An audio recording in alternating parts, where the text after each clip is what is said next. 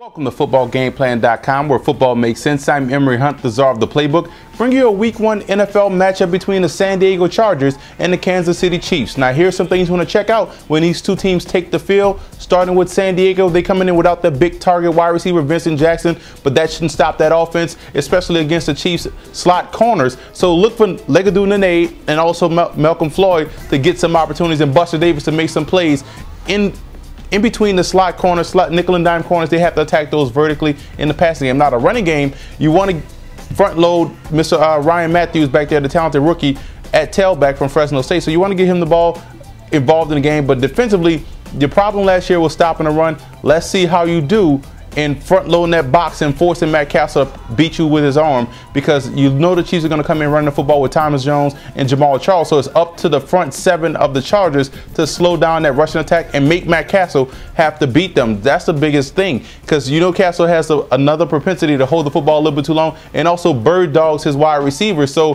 wherever he's looking first, that's where he's going to go eight times out of 10. So you want to make Matt Cassel beat you. That's what you have to do. And also your special teams better be solid because the Chiefs – also have a solid special teams, especially some dynamite returners back there in Arenas and company. But speaking of the Chiefs, they had an impressive preseason. You have a lot of, a lot more weapons now offensively. Dexter McCluster. You also have Thomas Jones. Defensively, you also have Javier Arenas back there as a returner, as a nickel corner.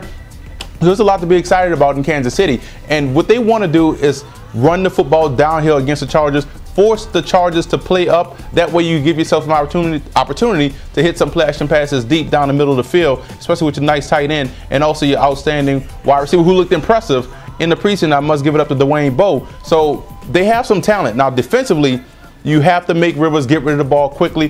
Force him to go underneath to Gates. Force him to go underneath to Ryan Mathews. Do not allow him to uh, throw those throw those deep strikes to those tall, tall wide receivers that they have, especially even without Vincent Jackson, they still have some talented wide receivers who are tall. And also for you, you special teams have to be outstanding because you know Sproles is electric kickoff return and punt return, so you have to make sure you're sound in all facets of the game. I think every week, every year in the NFL, there's a week one upset. I think this is going to be this game. I believe Kansas City will win this matchup at home. There's a lot to like about the Chiefs right now. They're going to run the football.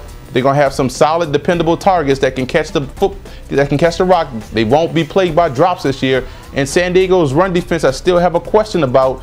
And how effective will they be without Vincent Jackson? I think the Chiefs are playing the, the Chargers at the right time, especially playing at the best stadium in the NFL, Arrowhead Stadium. So I'm going with the Chiefs in this matchup in a good one.